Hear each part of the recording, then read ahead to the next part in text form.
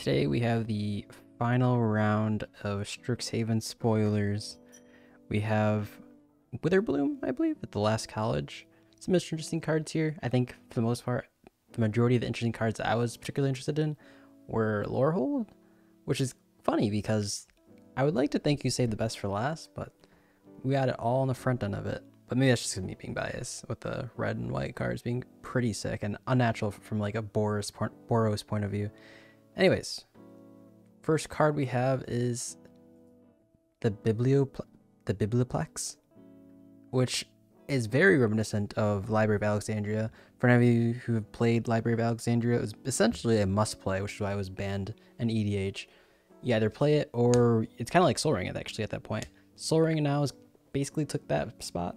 Library was for most decks where you want a card advantage and it was only in a land, so it's very cheap to do. This is essentially like that, and I really like this. Uh, definitely looking to put this in any deck. I think I'd want to build a deck around it, kinda. I think I really like this idea of having a super cool utility land. The art looks amazing. Imagine going to that library. Like how many floors are in there? Like how big that dome is. It's it's like a skyscraper. It's actually kind of crazy. So it has tap, add one, colorless. It's fine two mana and tap, so essentially three mana because it counts itself, or if you're counting yourself. Look at the top card of your library. If it is an instant or a sorcery card, you may reveal it and put it into your hand. If you don't, you may put it into your graveyard. Activate this ability only if you have exactly zero or seven cards in your hand.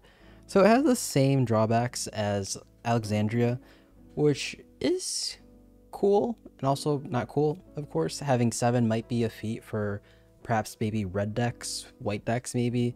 Although getting to zero might be a little easier, this does require you to essentially make a maybe perhaps instant or sorcery based deck. However, because if you don't have instant or sorcery on top of your library, this just fixes your draws. So even if you don't have a sorcerer instant based deck, putting something in graveyard that you don't want on the top of your library is probably helpful sometimes. Although it's probably better in your hand because it's a little safer than being in your graveyard. Still, very cool effect. I think this card will be less played than War Room, which is weird because I do like the art better than War Room, and it looks a lot better than War Room, but eh, I don't think we'll play that much compared to War Room. I- am definitely gonna put it in the deck. I think the fact that it has the zero to seven cards in hand might be a huge thing to play around. Um, this is gonna require you to play a little more reserved or require you to go hellbent. So there's like no no way you can play like combo with this because usually combo wants to have you know their combos pieces in hand, which usually isn't seven cards and usually isn't zero cards, right? Because you have zero cards in hand, you're not getting your combo. So this means it's going to help aggro decks and it's going to help control decks if there's such things like a spell slinger aggro deck. Maybe there, maybe there is. Um, this is going to be a cool card. I like, like this card. It's going to be definitely cool. If you want to play War Room, I think you should play this card. Uh, if you have that aggro or you have that control based deck. But yeah, tell me what you guys think about this card. I think it's interesting. Next up, we have a few other cards I think are particularly interesting that I looked at. However, I don't remember seeing this three color one right here. Blood Researcher, okay, not that interesting. Looks like some draft chaff. so today we have Pestilent Cauldron Artifact with tap discarded card, create a 1 1 black pest. If you guys don't know, pests, when they die, you gain a life, which is different from Golgari, which will probably usually drain you drain you a life. One tap, each opponent mills X cards, X amount of life you gain this turn. Okay, exile four cards, four target cards from a graveyard. Draw a card? Four target cards from a graveyard and draw a card for four mana. That's probably expensive in EDH. Definitely expensive in EDH. I don't know what kind of deck would want this. You can exile your own cards, but that's definitely not worth it, right? This is probably like a hate card for maybe standard. It seems a little too costly for EDH. Let's look at the sorceries sorcery part the Restorative Burst. Sorcery return up to two target creature, land, or planeswalker cards from graveyard to their hand. Each player gains four life. Exile Restorative Burst. That's kind of neat. It's good against burn if it wasn't five mana. there was getting like a burn deck in standard. That's super expensive. I don't know. I don't know if a deck wants this in standard or EDH. I'm feeling like it's draft chaff, but maybe the mill part is pretty strong. You can't really mill yourself. You discard your own card, then you're going down cards just to make a pest. Probably not worth it. You can mill your opponents. But yeah, this doesn't seem too good to me. Doesn't seem too good, but cool art. I like the art. It's definitely interesting. Interesting shenanigans going on there. Next up, we have a Daemogoth, which is a demon of some sorts. Daemogoth Woe Eater. 4 mana, 1 black green Golgari, or creature demon. At the beginning of your upkeep, sacrifice creature. Whenever you sacrifice Daemogoth Woe Eater, each opponent discards a card, and you draw a card and gain 2 life. Whenever you sacrifice. So eventually, you want to sacrifice itself. And when you do, you're gonna essentially. Ooh, wait, wait, wait, wait, wait. This may be better than I think, because I usually like after a few hits, people are start chump blocking with it, and if they're not making like fodder to chump block with, they're using cards out of hand. This is just card advantage, right? You hit you hit wonder blockers, they're down a card, you still have your card on board. Then you sacrifice this, they discard a card, and you draw a card, so you get their card this card back. It's kind of like card advantage for aggro. This is a huge beast too. Interesting. Is this is this close to being a wandering archaic? Ah, I'm interested in the lore text. I'm not sure if this is like a wandering archaic that turned evil. Like corrupted by black mana or something. I'd be interested in seeing that that's part of the lore. I wonder if there's actually lore for this set. I don't know. I, I assume there's some with like Killian, way he's depicted on some arts of the card, arts in this set. But this is interesting card. This is a huge. Four mana. I think this is like bigger than most cards from um what that one set with the Bonders Prodigy Kinnan was in? Ikoria. This is like bigger than most creatures there, and this is uncommon. That's kind of crazy. Anyways, I think that card will be played. If you're playing Golgari aggro, I think that card will be played. Well, even a little bit. Just a little bit, maybe. Next up, we have... Ooh, that next one to the left of the black card is pretty interesting. Oriq Warlock. Two black, black. The Creature, human warlock that has tap, search your library for a card, put it in your graveyard, then shuffle your library. If it's instant sorcery, put a plus counter on Oriq Warlock. So it's a tutor. Tutor on a stick. L1 and 2 mana stick. That's neat. A little slow, but that's neat. That's cool. Well, if, if a deck wants to play Entomb and they're playing high to low power, you could play this. Neat card to have. Nothing really much to say about it. It does help with... What does it help with? I don't think you want to play in standard, but it does help with EDH, EDH decks that want Entomb effects. Neat. Not much to see here. Pillardrop Warden. What's a Pillardrop? I saw that before. Two and tap, sacrifice the Warden, return target instant sorcery card from your to your hand. Activate only as sorcery. Jeez, it's four mana. Spirit Dwarf. Spirit Dwarf. Eh. I'm not good. Ooh. Containment Breach. Three mana, destroy target artifact or enchantment. If its mana value is two or less, create a pest. That's fine. Oh, we've got another Daemogoth Titan. This is why I'm wondering if it's Archaic, because it's got the six hands. And we know the Archaic has six hands. I wonder, maybe the Archaics and the Daemogoths fight. Gosh, I want to know what lore behind these. Things are sick. So, four mana, similar to the last one. It's a little less restrictive, I would say, arguably. Except it doesn't have a colorless, which is, I think, yeah, a little less restrictive, but it's at rare. Whenever Daemogoth Titan attacks or blocks, sacrifice a creature for an 11-10. So it needs to land twice to kill. Compared to the other one, it needs to land three times. Probably worth it. Yeah, this is this is sick. This is crazy strong. Bigger than most creatures in Ikoria, by the way. sick card. Sick card. We have campus. We have oh harness infinity. I saw this one, but I'm not sure what to think of it. It's seven mana, aka one colorless, a black, black, black, green, green, green, and exchange your hand and graveyard. Exile harness infinity at instant speed. This is sick. If you can mill your deck and then get whatever you want from your graveyard to your hand with this, you can just combo off. It's at instant, by the way. I feel like this is really close to being just like a ad nauseam effect. Except ad nauseam doesn't require you to have a, the extra step. Or this requires you to have like that one extra step. It's like ad nauseam with extra steps. This is a sick card. Art is sweet. Probably being played in EDH somewhere. I, I would imagine. It's such a strong effect. All you need to do is just play your cards, get them in your graveyard, and just play this, get your cards back. Too bad it exiles itself. they've learned. They've learned. This is a sick card. Probably high power and blow.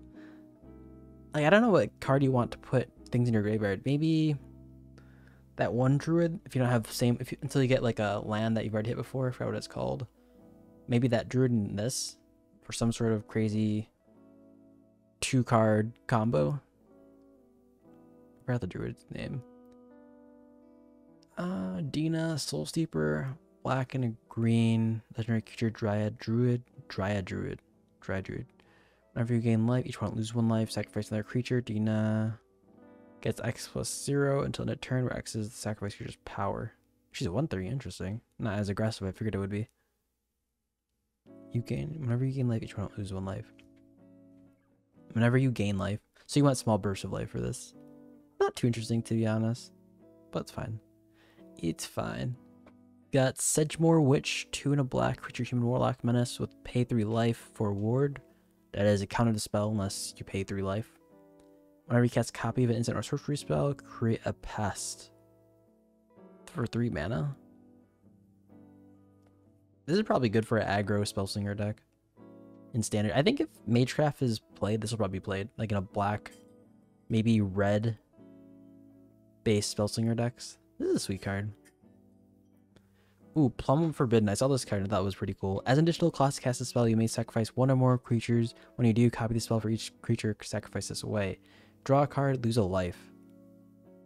So this is like that um, storm-ish kind of effect. I think it's really cool. Being in black. So we have one for blue. Or we have one for red. We have one for white. That is like storm cards with the, at two mana. That is like, this is the black one the red one is Grapeshot, and the white one is the Vigilance and the counter one. Yeah, these are sweet to have. More Storm options for people playing Storm. A lot of people get, like, think Wizard hates Storm, but, like, this is obviously like a Storm card. We can have build a huge board for this. I'm assuming you just eat pests with it, and then it nullifies the lose one life part. I mean, unless you're playing against white or black, like the deal, I mean, maybe in red, like, no one's gonna be killing those things. It feels so bad to kill it because, like, all you do is gain a life from killing it. The opponent only gains one. Like, there's not much of a. If you're playing aggro, there may be more incentive to kill it. But other than that, I don't think I don't see much people like, trying to kill those things. They're actually gonna be like super pest. Like, it's gonna be a pest, super pesty to kill them. I don't know. All right. We also have Callous Blood Mage, two a black, creature vampire warlock. When Callous Blood Mage enters the battlefield, create a 1 1 pest, draw a card, lose 1 life, exile target player's graveyard 2 1. Is a good sideboard card. It's a mythic rare. I have no clue why. But I'm fine with that. I'm fine. Probably played in sideboard, I think. It's dream enough for a 3 2 over two bodies. Also, you draw a card. And you exile some stuff for Titans. Yeah, this is cardboard. Cardboard quality. Or sideboard quality. Next up, Poet's Quill. One in a black artifact equipment. When Poet's Quill enters battlefield, learn. It also has one in a black. Creature gets plus one plus one when it's equipped, and it has lifelink. Pretty pretty cool. Why lifelink though? Why would a quill give lifelink? Maybe menace? I don't know. Lifelink seems kind of weird. Or maybe make it like ETB draw card as well. I don't know. It seems kind of weird. Not really as like thematic as I had figured it would be. It's fine. We have Blex Vexing Pests. Other pests, bats, insects, snakes, spiders. You control it plus one plus one. When Blex Vexing Pest dies, you gain four life. So it's just a big pest. Uh, search for Blex, two and black black. Look at the top five cards of your library. You may put any number of them in your hand. Rest upon a library in order. Use life for each card. Put in your hand this way. Eh, it's ad nauseam, right? Except with less steps. this is a fine card. I don't think it will be played too much, if anywhere. But it's cool. Eh, maybe if there's like a pest deck, an animal deck. If you have like spiders, bats, insects, and snakes in it, this could be like a tribal deck. It'd be kind of cool. Kind of weird though to have blacks there. I, I would figure you'd want something else, but that's fine. Beledros Witherbloom, five black and a green for Elder Dragon of Flying. Also, at the beginning of each upkeep, create a 1 1 pest. Pay 10 life, untap all lands you control, activates only once each turn, 4 4. This is cool. Definitely a lot of incentive to play pest with this, which I think is what will be needed for like more internal formats, aka EDH. I thought 10 life would be pretty steep, but if you have ways to gain life in black and green, which those colors do, this will probably be not too bad. And tapping all your lands too. I don't know why we don't tap all your lands in this case though. Of course to use activated abilities. I mean, she's anything you want, but it's like, what are you gonna play in a deck like this that wants you to untap all your lands? Like all the activated abilities or all the uh, pest cards that we saw don't really have too much in the way of needing mana. They sort of enter and create pests. I don't know. It's interesting. It's still like ramp, which is super strong. Untapping all your lands is really strong. But you need pests, right? Or at least some sort of life gain. I don't know. That'd be a cool card though to play. Uh, all right. We also have Jadzi Oracle of Arcavios. Legendary creature, human wizard. Discard a card. Return Jadzi to your owner's hand. Magecraft. Whenever you cast a copy of an instant or sorcery, reveal the top card of your library. If it's an online card, you may cast it paying. You may cast it by paying one rather than its mana cost. If it's a land, put it on the battlefield. Ooh, that's strong. So basically, if you have another sorcery instant at the top of your deck, this basically just chains together to another casting another one. Which is cool. For one mana. That's neat. But geez, eight mana? I guess that's is why like most these green cards require you to have eight lands, is to get to Jadzi. Right? Journey to the Oracle. For two, two and a green and a green sorcery, you may put any number of land cards from your hand on the battlefield. Then you may, if you control eight or more lands, you may discard a card. If you do, return Journey to Oracle to its owner's hand. Very thematic. This is a strong card, but eight mana? I guess that's what you want for eight mana. Yeah, that's a cool card. Cool beans. I don't see it being played too much anywhere because it's CMC, but yeah, this is a cool card. We have Tempted by the Oriq. One blue, blue, and a blue sorcery. For each opponent, gain control up to one target creature or planeswalker that player controls with mana value 3 or less. Oh boy. this is a pretty strong card in Commander. This is a 4 mana board wipe, I think, in Commander for the most part. Especially if you want to like black their stuff they're attacking you with, which you're probably going to take their commanders most of the time. Or utility creatures. This is going to be super strong. Yeah, this card is good. I think this card is going to be like a staple for high power and below. You generally want to play lower cost stuff. Actually, no. Maybe it's better the higher your meta. So maybe you play this. You probably play this. I don't. I don't. High power, right? High power, mid power. Probably within those two. This is a cool card though. Definitely strong. Got to be careful of this one. Definitely be. I play a bunch of low CMC cards, so this is gonna be scary.